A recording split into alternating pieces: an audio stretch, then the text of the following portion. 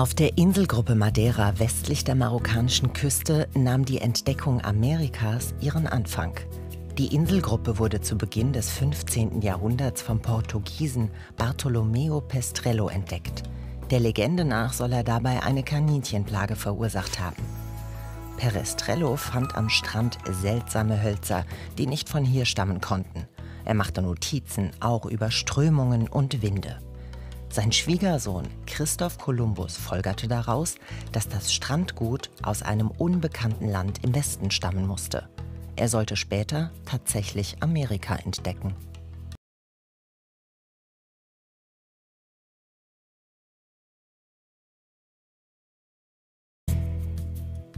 Auf der Inselgruppe Madeira westlich der marokkanischen Küste nahm die Entdeckung Amerikas ihren Anfang. Die Inselgruppe wurde zu Beginn des 15. Jahrhunderts vom Portugiesen Bartolomeo Pestrello entdeckt. Der Legende nach soll er dabei eine Kaninchenplage verursacht haben. Perestrello fand am Strand seltsame Hölzer, die nicht von hier stammen konnten. Er machte Notizen auch über Strömungen und Winde.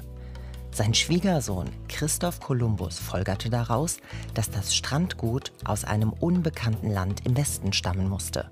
Er sollte später tatsächlich Amerika entdecken.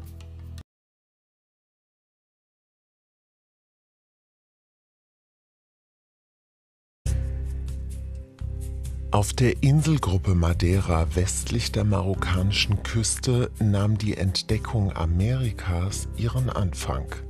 Die Inselgruppe wurde zu Beginn des 15. Jahrhunderts vom Portugiesen Bartolomeo Pestrello entdeckt.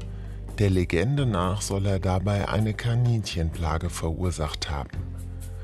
Perestrello fand am Strand seltsame Hölzer, die nicht von hier stammen konnten. Er machte Notizen auch über Strömungen und Winde. Sein Schwiegersohn Christoph Kolumbus folgerte daraus, dass das Strandgut aus einem unbekannten Land im Westen stammen musste. Er sollte später tatsächlich Amerika entdecken.